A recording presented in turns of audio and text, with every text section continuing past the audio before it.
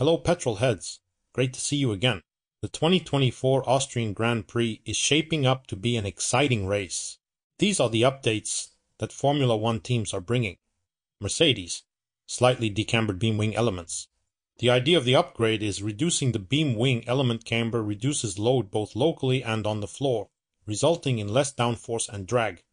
Ferrari, updated cooling louvres for this circuit. Addition of extra cooling louvres panel. In anticipation of possible high ambient temperatures over the race weekend in Austria, an extra louver option has been defined on the engine cover, increasing mass flow rate capacity, but at an expense of aerodynamic efficiency, McLaren. The new front wing geometry improves flow conditioning in conjunction with the updated front suspension geometry throughout various conditions, resulting in improved aerodynamic load. New front suspension. The new front suspension is designed around the new front wing geometry, aimed at maximizing the improved flow characteristics introduced with it. Visa Cash App New Rear Corner Performance. The configuration of the winglets on the rear drum has been revised. The winglets on the rear brake drum face generate load and help manage the flow at the back of the car.